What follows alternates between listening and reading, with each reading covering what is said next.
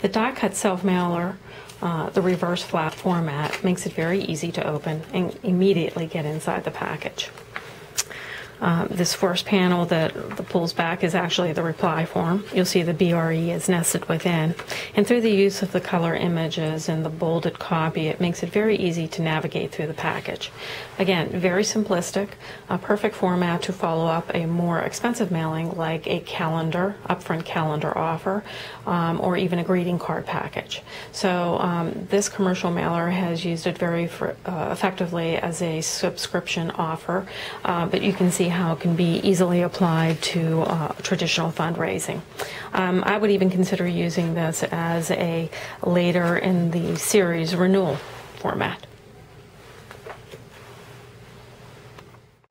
Each of the commercial formats highlighted today were fairly simple in size and layout, but each example conveyed the importance of using a multiplicity of techniques to make a lasting impression with the audience. If you'd like to hear more about these samples and others, please contact our client services team. Thank you for joining me.